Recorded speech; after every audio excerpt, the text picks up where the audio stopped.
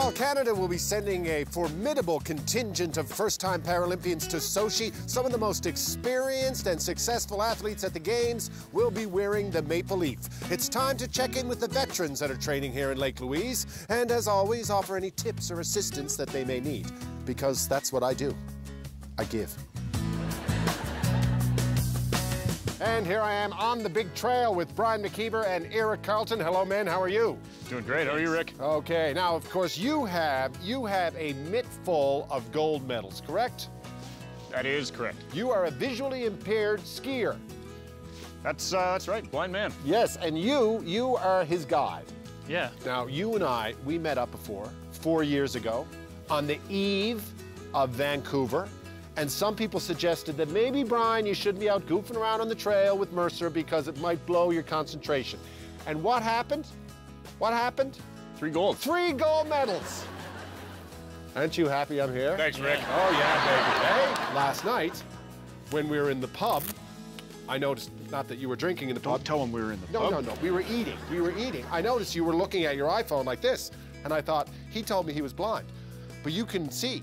Oh, I can see a little bit. Yes, and so the last time I skied with you, in order to simulate how it was to be a blind skier, you blindfolded me and I was completely blind. So this time I'm going with limited visual ability. Here we go. How many fingers? See? now, how much can you actually see when you're out here on the trail, or in general? In general, I see a little less than, well, I guess between 5 and 10%. I can see all this stuff out here with peripheral vision, but it doesn't give a lot of detail. Can you go for a ski on your own? Uh, yes. So we're covered. You're in good hands. Okay, we'll be back in a bit. All right, off we go.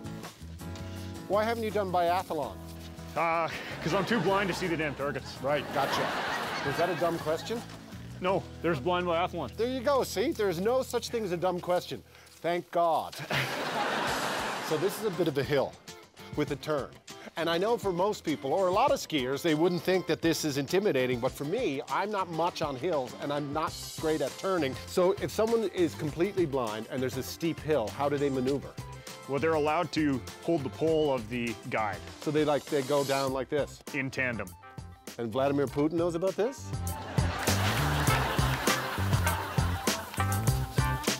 Nice work, Rick. There's gotta be some better way than this. Do you like the uphills? Is the uphill a challenge? Uh, the uphill is, the uphill is where it's, the race is won. So yeah, now you've worked for it, you've earned the downhill. You go, I'll follow. Alrighty. Stop now! All right. I think I'm gonna try the sit ski now because I can sit. Good luck with that. Engage.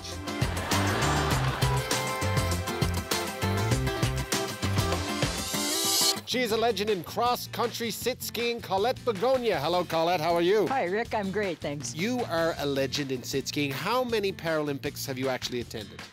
Well, this will be 10 in Sochi. How is that possible? Well, three summer and hopefully seven winter. Okay, so you do the summer and the winter.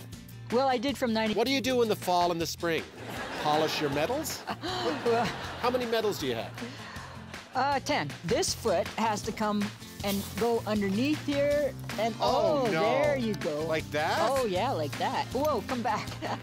Is this it? Am I uh, sit skiing? nah, not yet. You're a school teacher, aren't you? I am. What grades did you teach?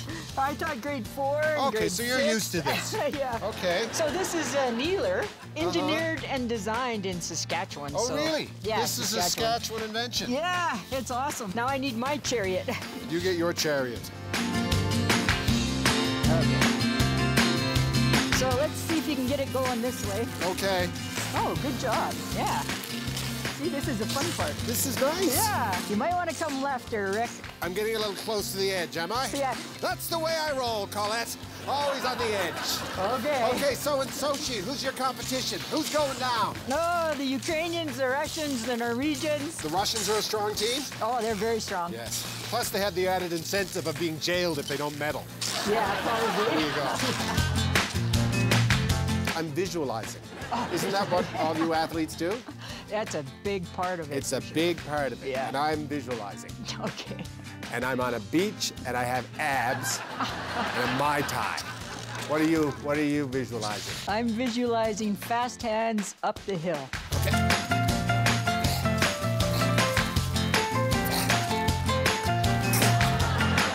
They didn't cover this at Good Life. yeah. That's a little hill, Rick. No, it's good. I'm naming my poles cruel and unusual. That's fun. That's fun going up the hills. Good thing it's A small. lot of fun. There you go. You got it. That's pretty good. Oh, now see, this is nice. Yeah, this is great. I could do this. I'm surprised, but all this texting has really helped my upper body strength. so I guess with sit skis, because everyone is differently able, they're constantly evolving. And once you use the sit ski, you might come up with something that would improve it. Great. Because I've been thinking about this, and I think I can improve this sucker. Okay, Colette, are you ready? Let her rip, Rick. Whoa! Does it have Go, brakes? go, go. Oh, look at that. Hey, that. it turned. That's awesome. Little thing I brought from the cottage. Thank you, Colette. Hey, Rick, it's been a pleasure. Thanks so much for trying our sit ski out. Good luck in Sochi. Thanks so much.